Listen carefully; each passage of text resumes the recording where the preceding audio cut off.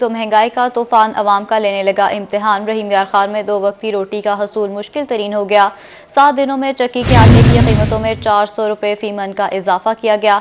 चालीस किलो आटा तीन हज़ार रुपये में फरोख्त होने लगा है। मजदूर तबका महँगाई की मुँह ज़ोर तूफ़ान पर बिलबिला उठे हैं। हुकूमत से महँगाई को कंट्रोल करने का मुतालबा भी किया गया है। इसी पर मजीद बात कर लेते हैं आमिर भट्टी से। जी आमिर, बताइए। बिल्कुल रही मेरे खान में चक्की का आटा भी एक आम आदमी और मजदूर तबके के लिए खरीदना मुश्किल हो गया है। एक हफ़्ते कबल जो कि छब्बीस सौ रुपए में फ़ी मन चक्की का आटा मिलता था, अब वो तीन हज़ार रुपए में फरोख्त होने लगा है। मजदूर तबका हमारे साथ मौजूद है, इनसे जानते हैं। बताएगा आज के दिन कोई काम मिला है और जो चक्की का आटा भी अब मुश्किल से मिलेगा क्योंकि महँगा हो चुका है। बस यही है, दो दिन, एक दिन लगता है, एक दिन नहीं लगता, क्या कर सकते हैं? एक दिन लगती है दो दिन तीन दिन हमें खाना पड़ता है। आटा लें घी लें क्या सब्ज़ी लें कौन सी चीज़ लें? आप बताएँ हम क्या कर सकते हैं? छः सौ रुपये दिहाड़ी है। अब महँगाई इतनी बढ़ गई क्या कर सकते हैं हम? आप क्या कहना चाहेंगे इस महँगाई के हवाले सर महँगाई बहुत ज़्यादा है। आटा महँगा हो गया घी महँगा हो गया और पचास यूनिट पे पाँच सौ बिल है पाँच सौ जुर्माना गरीब बंदा कहाँ से भरे?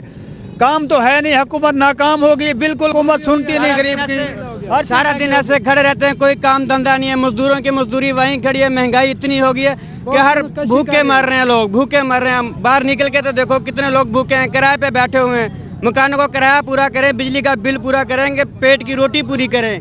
क्या करें हम लोग? बिल के ऊपर टैक्स ज़्यादा लगा दिया है। परेशान हाल मजदूर तबका है जिनका ये कहना है कि इनके पास काम ही नहीं है लेकिन जो अशिया खुरनोश है उनकी कीमतें जो बुनियादी एक आटा है उसकी कीमतें भी अब इतनी बढ़ चुकी हैं कि आम आदमी नहीं खरीद सकता। इनका ये मुतालबा है हुकूमत से कि फौरी तौर पर आपका शुक्रिया।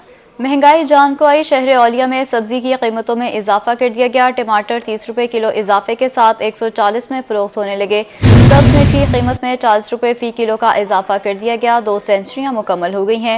उधर खुशाब में भी सब्ज़ियाँ कुत खरीद से बाहर हो गई। शहरियों का कीमतें कंट्रोल करने का मुतालबा भी सामने आया है। महँगाई, जान को आ गई है। शहर औलिया में सब्जियों की कीमतों में होशरुबा इजाफा कर दिया गया है। इसी पर मजीद तफसीत जान लेते हैं। जुल्कुन हैदर से जी बताइएगा। जी बिल्कुल, मैं इस वक्त मौजूद हूँ खुशाब में और अगर बात करें महँगाई के हवाले से तो खुशाब शहर में जो है वो मसनू महँगाई की वजह से शहरों को शदीद परेशानी का सामना है। सब्ज़ियाँ जो है वो उनकी कीमतें आसमानों से बातें कर रही हैं। हमारे साथ शहरी वक्त मौजूद है, उनसे बात करते हैं। क्या कहेंगे आई रोज़ की जो महँगाई है इसके हवाले से?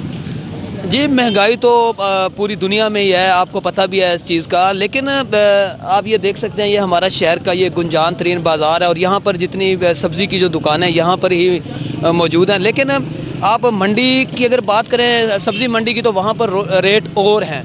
इसी तरह यहाँ पर जो है, वो मनमर्जी के रेट ये शहरी, जो है शहरीों से वसूल करते हैं। हम जो है, वो मंडी से जो चीज़ें ख़रीद कर लेकर आते हैं अगर उनका मुवजना किया जाए यहाँ की चीज़ों से तो काफ़ी फ़र्क है।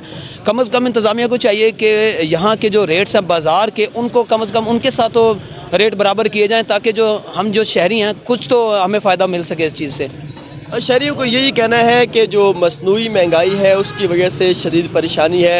इतनी जो कीमतें हैं, वो जो मंडी है, वहाँ पे कम रेट होते हैं तो उसके अल्टरनेट जो बाज़ारों में जो रेट होते हैं, वो दो गुना ज़्यादा होते हैं। जिस तो यहाँ के शहरीों को शदीद दुशारी का सामना है, उनका यही मुतालबा है कि ज़रिए इंतज़ामिया को चाहिए कि यहाँ पर जो रेट्स हैं, उनको आपका शुक्रिया।